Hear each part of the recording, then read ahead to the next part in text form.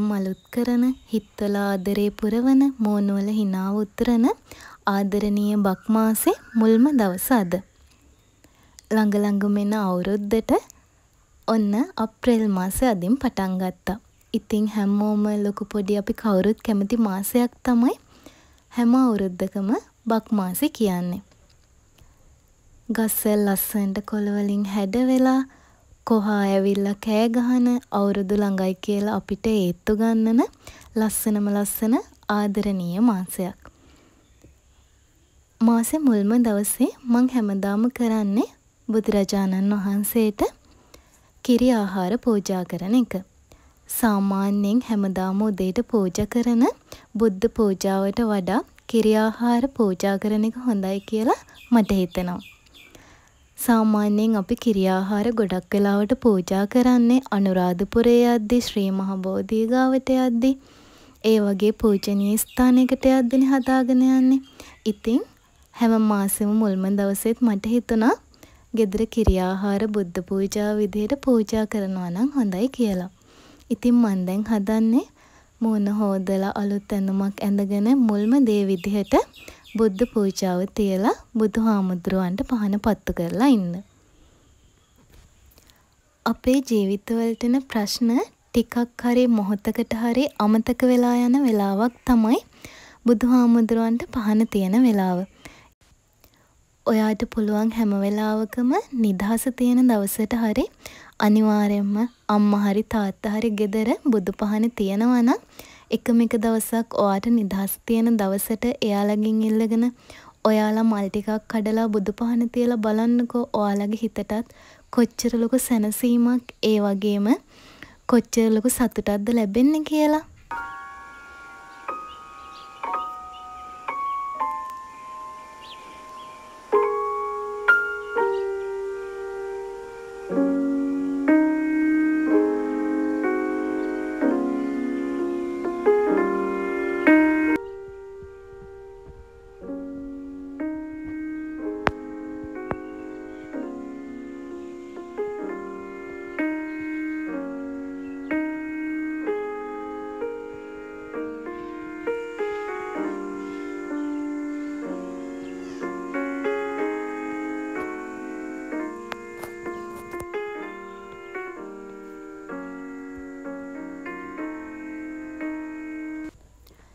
ජීවිතේ ටිකින් ටික ඉස්සරහට යද්දී අපිට තේරෙනවා අපි ඉස්සර පුංචි කාලේ නොසලකා හැරපු දේවල් ඉස්කෝලේ යන කාලේ දහ එකොළහ පන්තිවලදී හිතුවක්කාරකමට හරි නැත්තම් අපේ තියෙන කෙළිලොල්කමට හරි අපි නොසලකා හරපු දේවල් අපිට කාලයක් යද්දී අපිටම ඒ දේවල් අපි විසින්ම කරන්න පුරුදු වෙනවා කියලා. අම්මලා තාත්තලා කොච්චර කිව්වත් කරේ නැති දේවල් කාලයක් යද්දී අපිටම තේරෙනවා ඇත්තටම මේ දේවල් කරන්න ඕනේ කරන එකෙන් කොච්චර ලොකු මානසික සතුටක්ද මානසික සුවයක්ද හම්බෙන්නේ කියලා. ඉතින් එහෙමත් නැති පුංචි කාලේ ඉඳන්ම ගොඩාක් හොඳ අයත් ඉන්නවා. මන් දන්නවා සමහර අය ඉන්නවා චූටි කාලේ ඉඳන්ම චූටි ළමයෙක්ද කියලාවත් හිතන්න බැරි තරම් හරිම අහිංසක හරිම හොඳ. ඉතින් ඒවා නම් මං හිතන්නේ පෙර ඉඳන්ම අරගෙන එන දේවල් වෙන්න ඇති.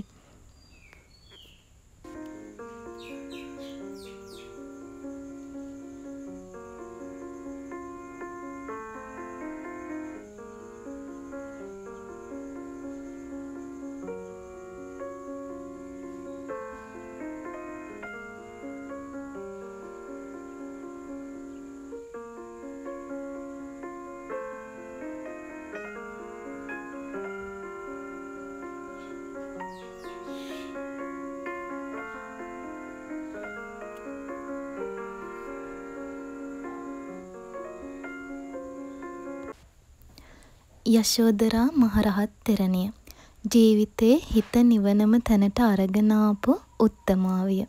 ඉතින් ඔයත් යශෝධරා මහරහත් තෙරණින් වහන්සේට පුද පූජා කරන කෙනෙක්ද? කරන්නේ නැත්නම් අදම පටන් ගන්න. ඔයා ගොඩක් ලස්සන කෙනෙක් නොවෙන්න පුළුවන්.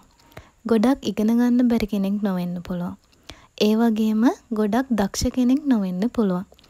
ඒ කිසිම දෙයක් කොහොම වුණත් ඔයා යශෝදරා මහරහත් තෙරණින් වහන්සේට පූජා මල් පහන් පූජා කරන්න පටන් ගන්නකෝ. ඔයාටම ඔයාගේ ජීවිතේ ලොකු වෙනසක් දැනේ.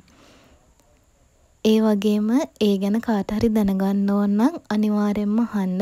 මම ඒ ගැන කියන්නම්. ඉතින් මගේ ජීවිතේට ලැබිච්ච දේවල් ගොඩාක් තියෙනවා. ඉතින් ඒක ඇත්තටම අපිට කිසිම දෙයක් නොලැබුණත් ජීවිතේට ගොඩාක් වටින දෙයක්. ඉතින් අලුත් මාසේ මුල්ම දවසේ මං කරන්නේ මගේ බුලට් ජර්නල් එකේ අප්‍රේල් මාසේ ප්ලෑන් කරන එක.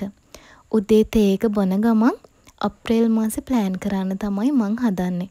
ඉතින් ජනවාරි පෙබරවාරි මාර්තු මාස තුනක්ම අපි ගෙවලා ඉවර කරලා දැන් ඇවිත් ඉන්නේ ආදරණීය අප්‍රේල් මාසෙට.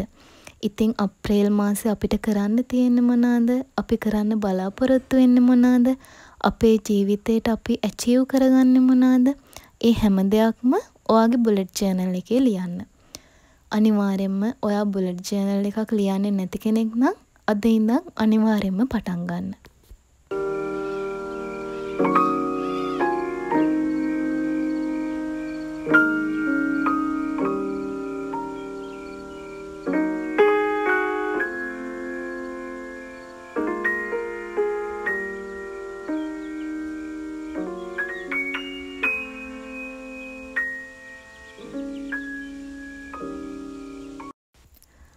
අපේ මේ ජීවිත ඇතුලේ අපිට ලබා ගන්න බැරි ගොඩාක් දේවල් අපිට හිතන්න බැරි ගොඩාක් දේවල් අපි මානසිකව වැටෙන හැම වෙලාවකම ඒ හැම දෙයකින්ම මිදෙන්නේ කොහොමද කියලා මම මගේ ජීවිතේට ඉගෙන ගත්තේ විශ්ව ආකර්ෂණ නීතිය ප්‍රගුණ කරන්න ගත්තට පස්සේ. ඒ වගේම යශෝදරා මහරහත් තෙරණින් වහන්සේට මල් පහන් පූජා කරන්න ගත්තට පස්සේ.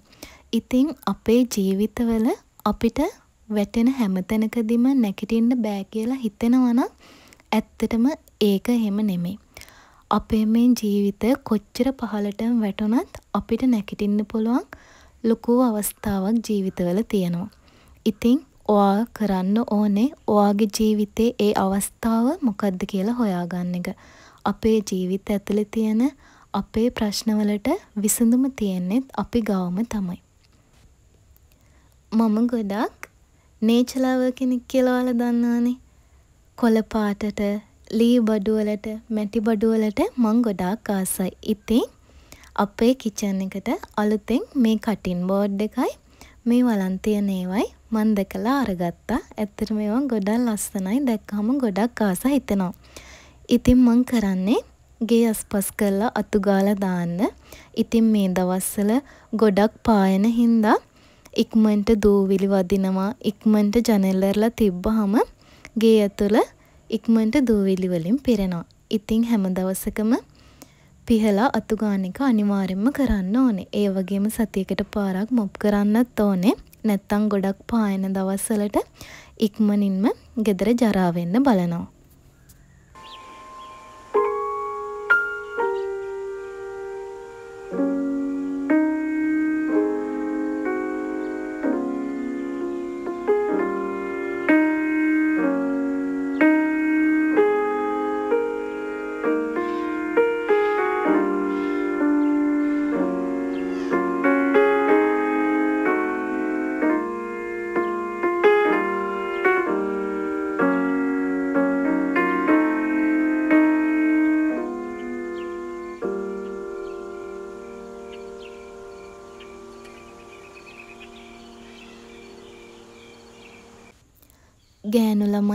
ඉතින් කැමති ලස්සනට පිළිවෙලට ඉන්නනේ.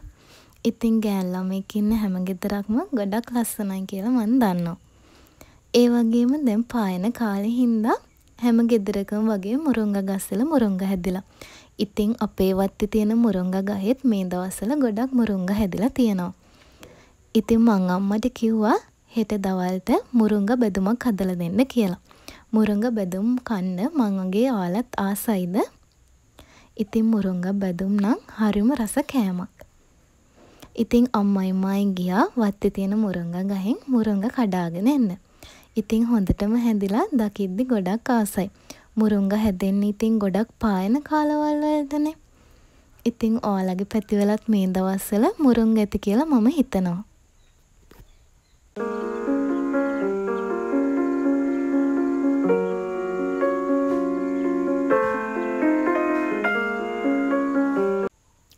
ටිකක් දවල් වෙලා අම්මයි මයි හදන්නේ ටවුන් එක පැත්තට ගිහිල්ලා එන්න.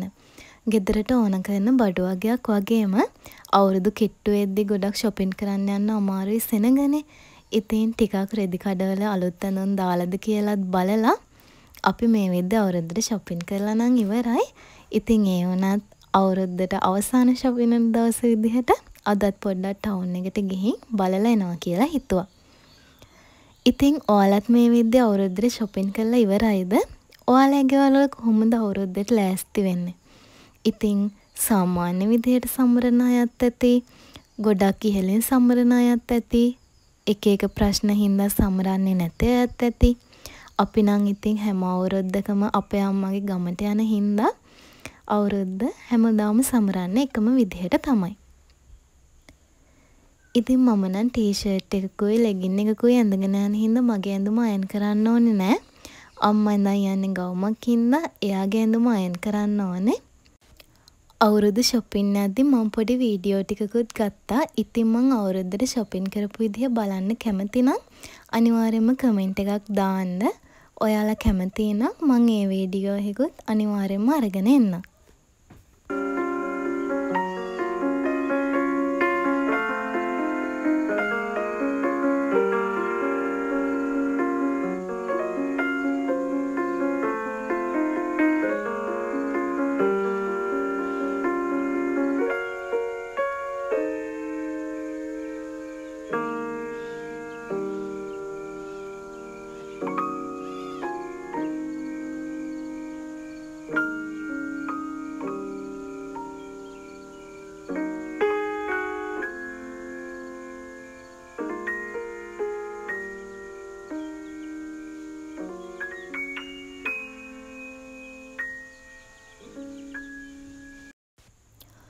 උදා වෙන හැම දවසක්ම ජීවිතේ අපිට ඕන විදිහට ලැබෙන්නේ නෑ. ඒ දවස කොයි වගේ දවසක් වුණත් අපිට බාර ගන්නම වෙනවා. අතීතේවත් අනාගතේවත් ජීවත් වෙන්නේ නැතුව මොන දේවල් සිද්ධ වුණත් අද දවසේ ජීවත් වෙන්න. ඉතින් අදින් පටන් ගන්න මේ අලුත් මාසේ ඔයාගේ බලාපොරොත්තු ඉටුවන ලස්සන මාසයක් වෙන්න කියලා මම මගේ මුළු හදවතින්ම ප්‍රාර්ථනා කරනවා.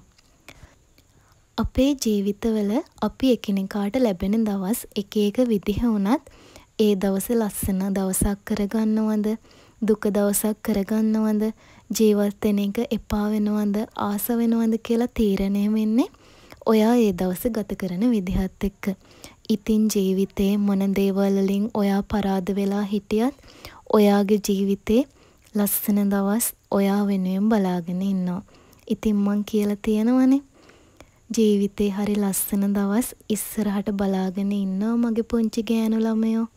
ඉතින් අදට ජීවිතේ පිටුවක් මම මෙතනින් වීඩියෝ එක ඉවර කරන ගමන් ආයෙත් ලස්සන වීඩියෝ එකකින් හම්බෙන බලාපොරොත්තුවෙන් හැමෝටම බුදු සරණයි. පරිස්සමින් ඉන්න. බායි